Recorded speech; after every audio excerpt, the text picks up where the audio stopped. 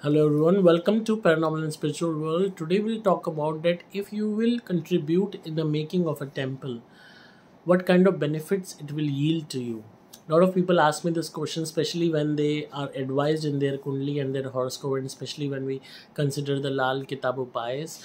So generally, uh, this upaya generally comes out that you donate something in temple or you contribute in manufacturing or making of any temple or any kind of place which is devoted to any particular god.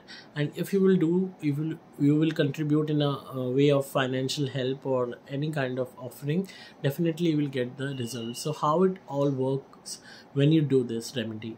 First of all you should have this intention of creating a very positive place for the worship for not only you for others as well. And it's not just always advisable to contribute uh, lakhs or crores in the making of a temple. It totally depends on your financial condition and your purchasing power on your even if you contribute 10 rupees that also amounts to a positive karma that also amounts to that remedy. But it is really important that that remedy should be covered up with your good intentions. Instead of being forced to do that particular upaya it should be done freely and according to your own will according to your own say. And it's not at all compulsory to donate only money for the making of any temple. Although a lot of people donate money in the temples for making of them or even in the existing temples but apart from money you can donate other things as well. Like you can donate decorative items for the temple. You can donate uh, flowers for the temple. You can donate plants for the temple. You can donate clothes for the idols. You can donate uh, ghee for the jyot for lighting of the lamp in front of the deity or the devta.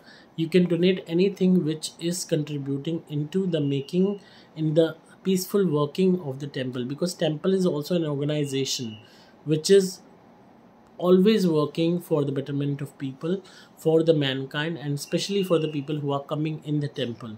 Some people come for the prasad some people come for the worship some people come for both some people come just to get that vibes of positiveness by sitting over there by experiencing that whole aura of that particular place of worship. So you can contribute anything which facilitate that process. You can contribute anything which helps people into that whole zone of worship and all. And even if you are not financially well to do still you can even contribute in a way of servicing at that particular place. Like cleaning that place or providing any kind of domestic help in that temple. So there are a lot of services which can be done as a part of the remedy or as a part of your own intentions towards god towards the almighty to do this particular good karma. And once you start doing this you will experience many differences in your life.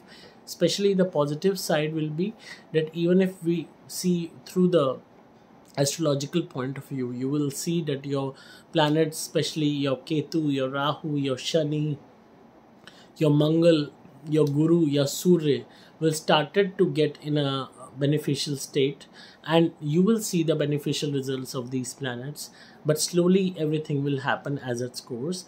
And even a kind of positiveness a light-heartedness a kind of a positive aroma a, po- a positive charisma you will notice in your life. And that will happen eventually when you will start doing it again and again as a regular practice in your life with the full devotion and attention and good intentions of course.